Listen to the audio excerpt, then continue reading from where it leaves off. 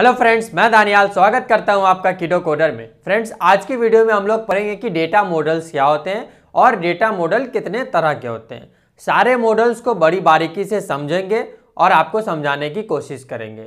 तो चलिए बिना टाइम गवाए वीडियो को स्टार्ट करते हैं। अगर हम डेटा मॉडल की बात करें तो डेटा मॉडल हमारा होता है कि किसी डेटा का जो स्ट्रक्चर होता है, उसी को हम क्या बोलते हैं? डेटा मॉडल बोलते हैं। डेटा मॉडल में क्या होता है कि जो आपके डेटा डेटाबेस में स्टोर है और उस डेटा के बीच में क्या रिलेशनशिप है, उसको भी बताता है हमारा क्या डेटा मॉडल डेटा मॉडल हमारा बेसिकली तीन तरह का होता है हेरारिकल मॉडल रिलेशनल मॉडल और एक नेटवर्क मॉडल होता है.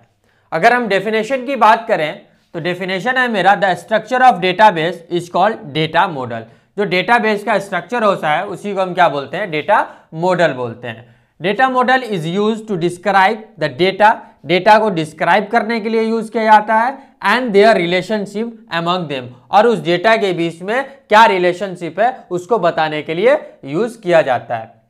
डेटा मॉडल्स की बात करें तो तीन तरह का होता है हेरारिकल रिलेशनल और नेटवर्क एक एक करके हम तीनों को पढ़ेंगे। सबसे पहले देखते हैं कि हेरारिकल डेटाबेस डेटा मॉडल क्या होता है।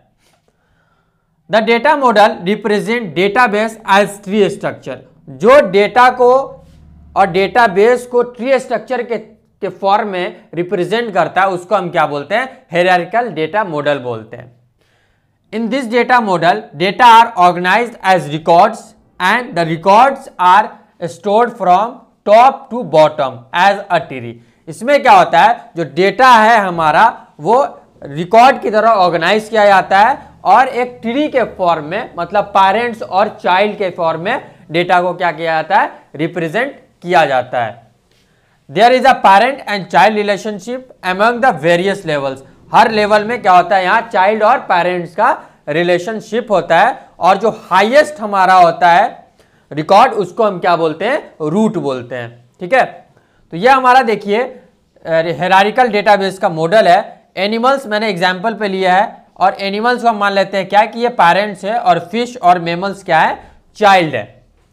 तो जो ये मेरा पेरेंट्स है, जो रूट उसको हम रूट बोलते हैं और ये फ़िश हमारा है फ़िश दो तरह का, एक मैरीन है फ्रेश वाटर है और एक मैमल्स है हमारे कैट और डॉग तो ये जो ऊपर वाला है, वो लेवल वन कहलाता है और नीचे वाला मेरा लेवल टू और सबसे नीचे वाला लेवल थ्री कहलाता है। देख रहे हैं आपको एकदम ट्री के स्ट्रक्चर में क्या हो रहा है हमारा डेटा इसमें अरेंज हो रहा है डेटाबेस में। इसी स्ट्रक्चर को हम क्या बोलते हैं? हेरारिकल डेटा मॉडल बोलते हैं ठीक है? अब हम इसके एडवांटेज के बारे में पढ़ते हैं और डिसएडवांटेज के बारे में पढ़ते हैं कि हेरारिकल मॉडल का एडवांटेज क्या होता है और डिसएडवांटेज हेरारिकल मॉडल समझने के बाद अब हम हेरारिकल मॉडल के एडवांटेज और डिसएडवांटेज को देखने जा रहे हैं। तो एडवांटेज की बात करें तो तीन इसके मेन एडवांटेज हैं जैसे सिंप्लिसिटी है डेटा इंटीग्रिटी है और इफिशियंसी है। अगर हम सिंप्लिसिटी की बात करें तो इसका जो डिज़ाइन होता है, वो बहुत सिंपल होता है। और उसके बीच में जो रिलेशनशिप होता है, वो भी क्या होता है, हमारा बहुत आसान और सिंपल होता है। अगर हम डेटा इंटीग्रिटी की बात करें तो होता है क्या है कि ये मॉडल जो हमारा बेस्ड होता है किस पे? पेरेंट्स और चाइल्ड पे बेस्ड होता है। और चाइल्ड जो होता है हमारा ऑलवेज किसको रिफरेंस करता है? पेरेंट्स को रिफरेंस करता है। इसीलिए इसको क्या बोलते हैं? डेटा इंटीग्रिटी भी बोलते हैं। अगर हम इफिशियंसी की बात करें तो ये डेटाबेस मॉडल जो है हमारा, वो बहुत इफिशियंट है। ठीक है? क्यों एफिशिएंट है? This model is more efficient when the database contain large number of one to many relationship अब ये इफिशियंट इसलिए है क्योंकि जो रिलेशनशिप होता है, अगर हम फैमिली ही का एग्जांपल ले लें तो उसमें रिलेशनशिप कितना बड़ा से बड़ा होता है तो उसको भी आराम से ये क्या करता है? एक्सेस कर लेता है डेटा में और आराम से काम कर लेता है। इसीलिए हमारा ये क्या है? इफिशियंट है।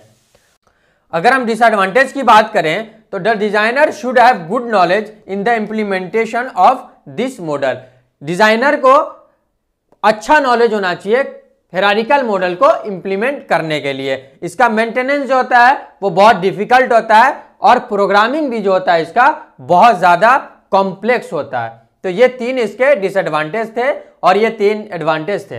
अब हम बात करेंगे कि रिलेशनल डेटा मॉडल क्या है। उसके बारे में जानेंगे। तो चलिए relational data model hierarchical model पढ़ने के बाद अब हम लोग देख रहे हैं रिलेशनल डेटा मॉडल क्या होता है। This model represent the database as a collection of relation ये मॉडल क्या करता है? रिप्रेजेंट करता है डेटाबेस को रिलेशनशिप की तरह। Each relation is a table with rows and column जितने भी रिलेशन होते हैं वो क्या होता है? आपको रॉज एंड कॉल्यूम के फॉर्म में होते हैं।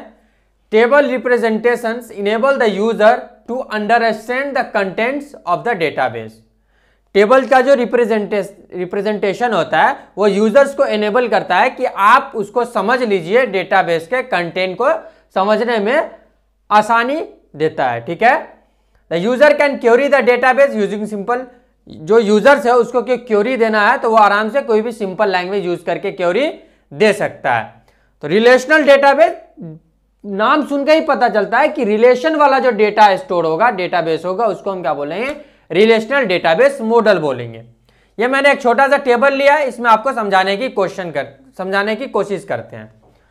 रोल नंबर है मेरे पास नेम एज और डिपार्टमेंट ये सारा जो हेडिंग है, वो हमारा क्या कहलाता है? या तो फ़ील्ड कहलाएगा, या एट्रीब्यूट कहलाएगा, या फिर उसको हम कॉलम्स भी बोल सकते हैं।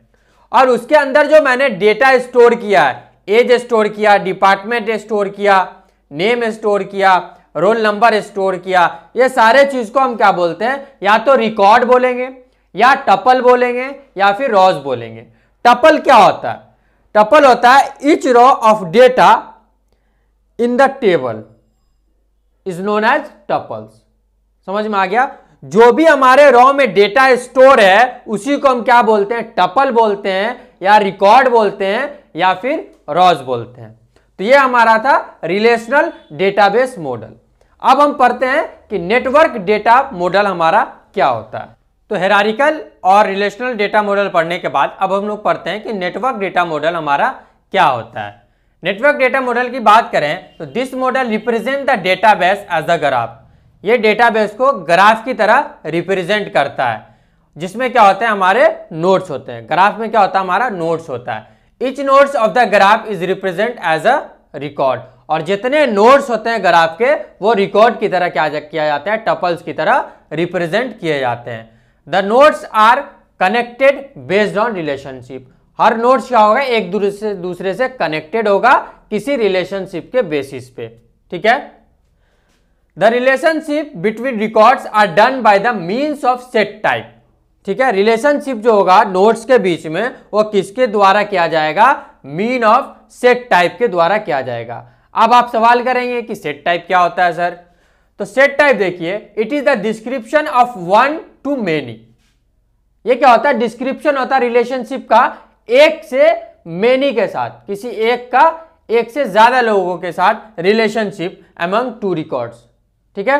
दो रिकॉर्ड में एक से ज़्यादा वहाँ पे क्या होगा? हमारा रिलेशनशिप होगा। उसी को क्या बोलते हैं? सेट टाइप बोलते हैं। इस set type defines has three element her set type के पास तीन एलिमेंट होगा। वो कौन कौन सा एलिमेंट होगा? उसका नेम सबसे पहले ऑनर उसका, उसके बाद और क्या होगा? उसका मेंबर ये तीन चीज़ होगा। तीन डिफिनेशन होगा हर सेट टाइप में। क्या क्या होगा? नेम होगा ऑनर होगा, और हमारा क्या होगा? मेंबर होगा।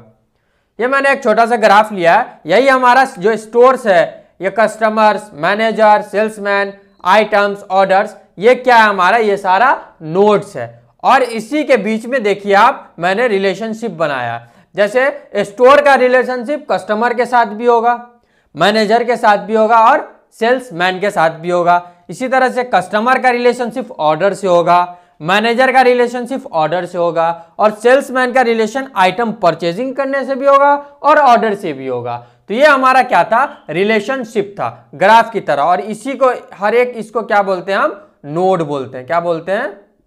नोड बोलते हैं ना? और इसी को रिकॉर्ड या टपल्स भी बोलते हैं। तो ये तीनों टाइप था, मैंने आपको बता दिया। हेरारिकल डेटा मॉडल क्या होते हैं? रिलेशनल डेटा मॉडल क्या होते हैं? नेटवर्क डेटा मॉडल क्या होते हैं? ये सारी चीज़ मैंने आपको बता दी। आई होप आपको समझ में आ गया होगा। मिलते हैं आपसे अगले वीडियो में एक नए टॉपिक के साथ। Subscribe now and press the bell icon never miss an update